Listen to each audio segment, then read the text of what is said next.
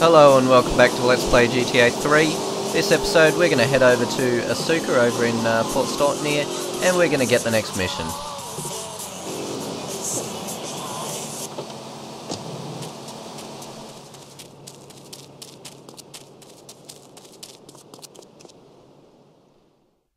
Ah! Oh. Miguel seems to think I'm mistreating him. Still, he's revealed the extent to which Catalina fears your quest for revenge.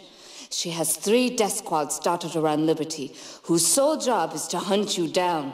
Act as the bait and get the death squads to follow you to Pike Creek, where some of my men will be waiting for them. Ah! Ah! Man, you know what? I don't think Miguel's got it too bad.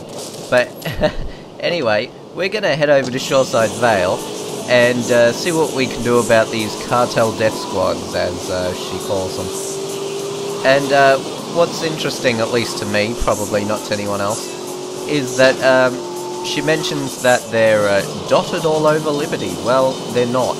They're all uh, situated pretty close together in the vicinity of uh, Pike Creek, which is the place where the Yakuza are actually waiting to kill them. So they're not, they're not exactly too far out of the way, which is a good thing. I'm, uh, I'm thinking that maybe perhaps uh, they were originally meant to be situated in uh, further, further out spots, but uh, as you'll see while we're actually doing the mission, the AI for the uh, for the cartel card is not too crash hot, and uh, well, they have a uh, tendency to sort of get stuck on walls and uh, blow themselves up and all sorts of stupid shit. So, thankfully, uh, their positions are a little closer. But there's one here. Now, you'll want him to uh, start following you over to the yellow blip, I think it is. And, uh, well, yeah, the, the AI, they'll just follow you, uh, and not even that well, really. So if they'll they'll never get out of their cars until you drive them to the right place. So if they blow up on the way, then well you fail the mission. And if you also if you kill them before they get here, then you'll also fail the mission. And what is he doing? Oh fuck. Well yeah, as you can see, he's uh, gotten stuck on a wall. There we go. So here's the uh, Yakuza death trap. Shit and they'll uh, they'll blow them up. There we go. Yeah, you'll uh, you're actually able to kill them yourself, but only once they've uh, arrived in this area. And I'm not sure what happens if you actually kill any of the Yakuza members yourself, whether or not that fails the mission, but I'm not going to try. Any Decent landing. We got to get ourselves a new car because if the uh, if the next set of cartel decide to actually ram us to the point of blowing up, then we'll be in a lot of trouble as far as completing the mission goes. But this should do nicely.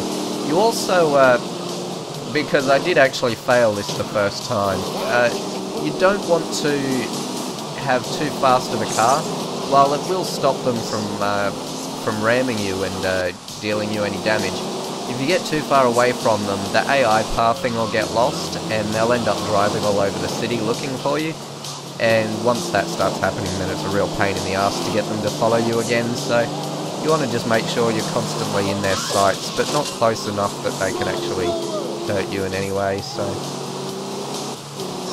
Can't really see because of the slope of this road, if they're following or not. We'll just wait for them for a bit. There we go. Alright. So, just like last time.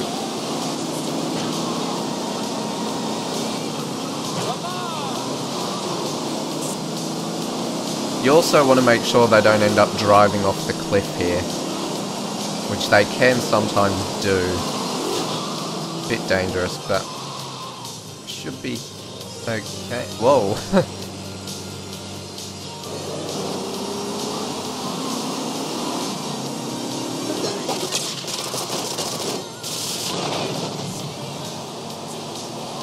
also, you don't want to be too close to the cartel sentinels when uh, when the Yakuza start opening fire on them because the well the Yakuza could hit your car and kill you but also if they blow up the uh, cartel car while it's too close to you then you'll also blow up in a chain reaction so. You want to be pretty careful.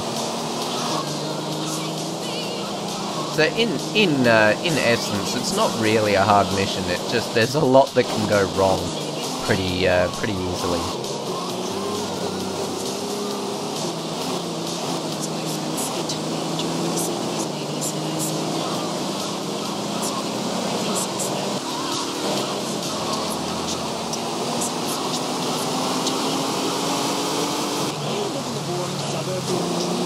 and you don't want to take that entrance there. Uh, you want to take this one on the side because there's this lamp post by the other door, and the AI has a tendency to get stuck on it.